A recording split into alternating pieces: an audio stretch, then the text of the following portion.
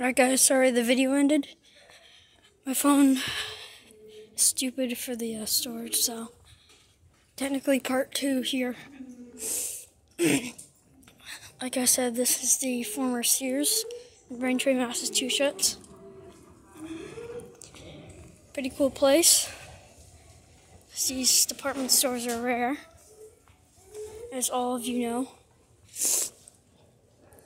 A lot of people don't shop here normally, but in Christmas time it's crazy.